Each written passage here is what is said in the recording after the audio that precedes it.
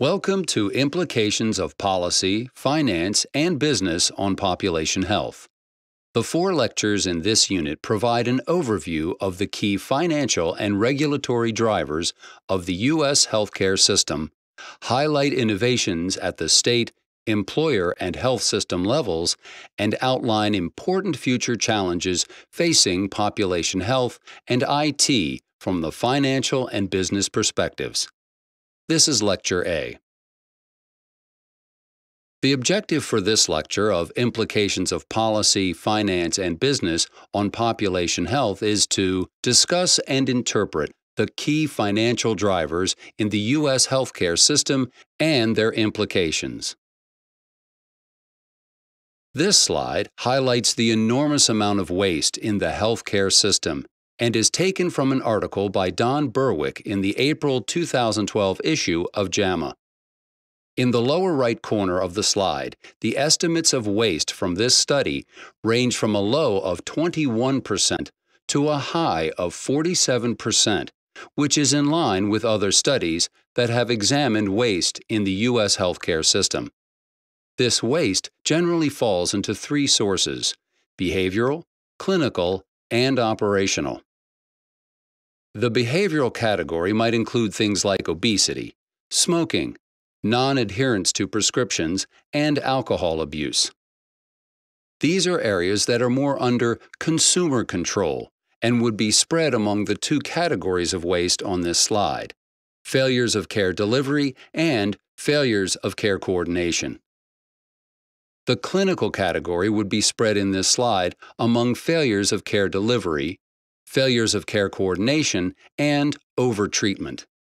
They would include things such as defensive medicine, preventable hospital admissions, medical errors, unnecessary treatment variation, hospital acquired infections, and overprescription of antibiotics, etc. The operational category would encompass on this slide the categories of administrative complexity, pricing failures, and fraud and abuse. This category could include continued use of paper forms, redundant claims processing, and ineffective implementation and use of IT. Given that the U.S. spent $3 trillion in 2014 on healthcare, reduction of waste could translate into potential savings of anywhere from $600 billion to $1.5 trillion in the U.S. healthcare system today. In 2014, $3 trillion was spent on healthcare. These percentages are drawn from the National Health Expenditure Fact Sheet that is published by the Centers for Medicare and Medicaid Services, CMS. Although the totals are slightly different, the percentages are still relevant. Households accounted for 28% of the spending, which includes their share of health insurance premiums and out of pocket costs for things that are uncovered by insurance, such as complementary and alternative medicine, co-pays, cosmetic surgery, over the counter medications, etc. The federal government accounted for 28%, which includes Medicare, the federal share of Medicaid, care in the Veterans Health Administration, and Department of Defense and biomedical research. Private business accounted for 20% and is predominantly made up of employer contributions to health insurance plans for their employees. The states accounted for 17%, which is predominantly their share of Medicaid and the costs of running local public health agencies. Other private expenditures of 7% include expenses for administering the health plans and private biomedical research. As you might surmise from this slide, there is financial tension between our roles. As consumers and patients, we would like more health care and better access.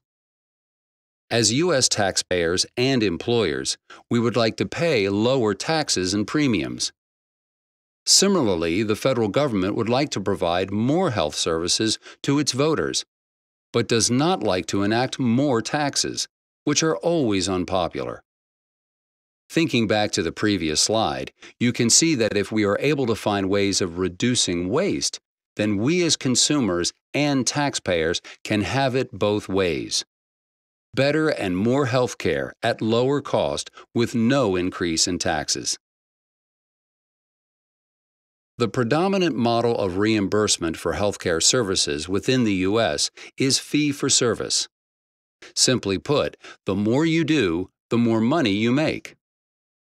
Because of the reward for volume, it has been the case that if we made a mistake in the delivery of care as providers, which resulted in more morbidity for the patient, e.g., requiring a second procedure, repeating a test, or a longer stay in the hospital, we would be actually paid more. Can you think of any other industry like that? Don't we as consumers expect our service provider to deliver as promised and if a mistake is made, expect the service provider to make good on the promise and not charge extra to correct the problem? Many health economists and industry experts cite the economic reward for volume instead of value as one of the main drivers of increased costs in healthcare in the U.S. This slide illustrates the alignment and misalignment of incentives inherent in the different reimbursement models. Policymakers have theorized that if they could change the reimbursement model, they could reduce the incentives to produce more volume of care and instead focus on the value. On the y-axis is the level of financial risk borne by an entity. And then on the x-axis are the different models of the reimbursement. The higher you go on the y-axis, the more financial risk one bears. On the x-axis, one moves from a cost reimbursement model to FFS, which includes cost plus some margin, to per diem, in which a hospital is paid a fixed amount of money per patient day in a bed but is paid more if the patient stays more days, to a bundled payment per episode, such as a CABG, a hip replacement, or the birth of a baby, where there is a fixed price for hospital and physician services, to finally, on the far right side, capitation, where there is a fixed amount of money per person per year, usually expressed as a per member per month PMPM payment, when that person joins a health plan or HMO. The patient or employer pays a fixed amount of money to the health plan, who in turn pays the delivery system a fixed amount per month for care. And in return, the health plan and or delivery system agrees to provide all the care that the patient requires during the period of time that they are a member. As you can see, the risk for the costs of care shift from the patient to the provider as we move to some of the alternative payment models along the x-axis.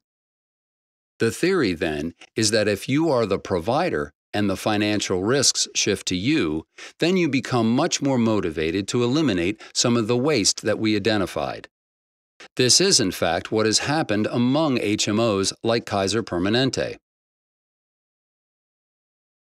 The triple aim improve health, enhance patient experience, and reduce costs was developed by Dr. Don Berwick when he was the CEO of the Institute for Healthcare Improvement, IHI, in Boston, and popularized by Dr. Berwick when he was head of CMS.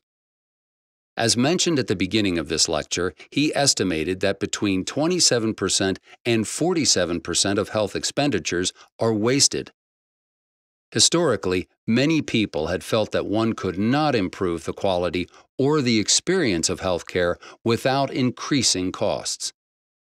Because of the insights Dr. Berwick gained from his quality improvement work at IHI in identifying healthcare waste, he felt we could achieve the triple aim in the U.S. by changing the reimbursement models, as we mentioned in the previous slide, coupled with, with better measurement.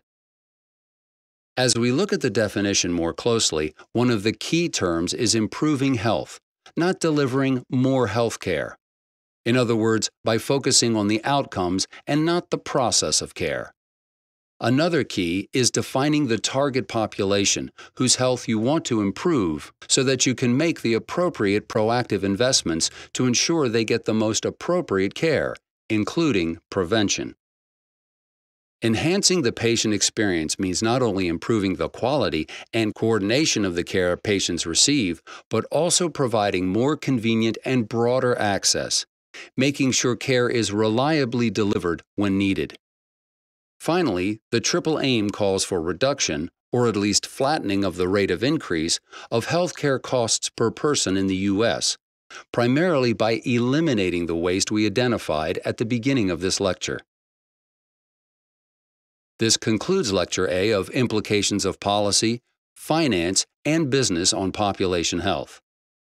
We've discussed some of the key financial drivers in the U.S. healthcare system to set the stage for our later lectures on the initiatives at the federal, state, and delivery system levels to align the incentives and deliver better health, better patient experience, and better costs.